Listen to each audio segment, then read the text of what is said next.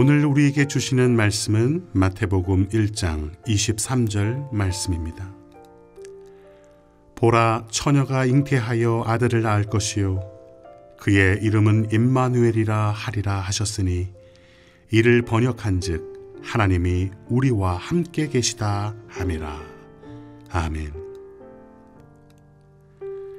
세상에서 제일 아름답고 호화로운 곳에 있어도 나를 보호해 주시는 부모님이 없이 아이 혼자 그곳에 있다면 어쩌면 그곳은 두려움의 장소일 것입니다.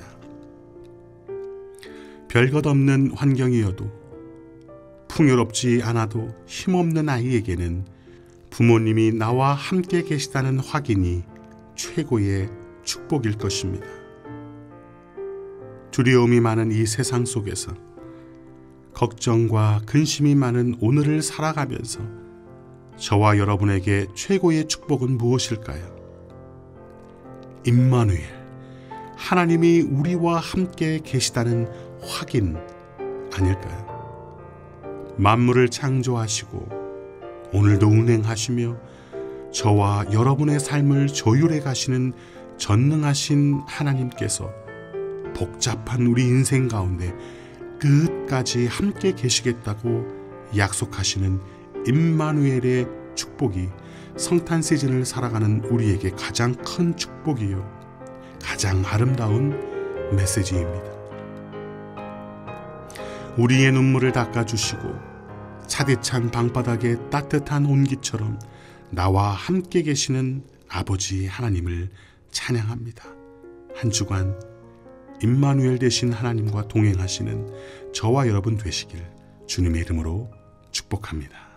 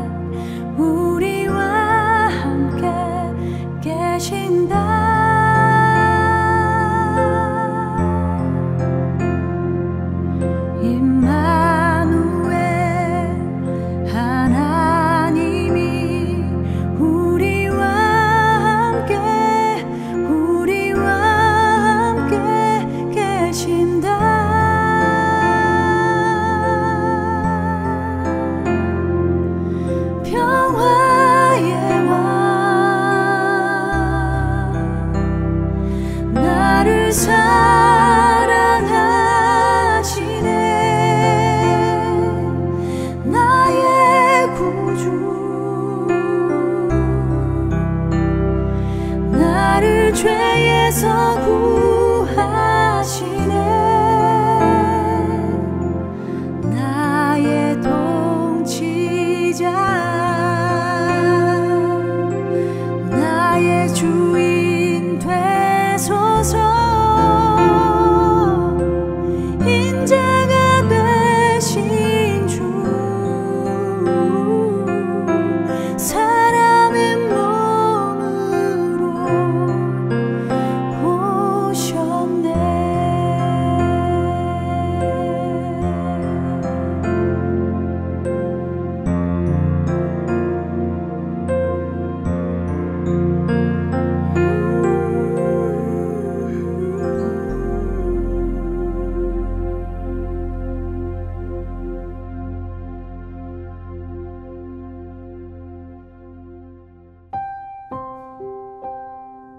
임마누엘의 하나님, 오늘 주님의 크신 사랑으로 인해 감사드립니다. 두려움이 많은 내 삶에 찾아오셔서 끝까지 나와 함께 하시겠다고 확인시켜 주시고 약속해 주시니 임마누엘 하나님을 찬양합니다. 우리 혼자 이 길 끝까지 걸어가기 어려우니 우리 손 붙잡고 믿음의 경주 잘 달려갈 수 있도록 새 힘 주옵소서. 우리 주님 예수님의 이름으로 기도드립니다. 아멘.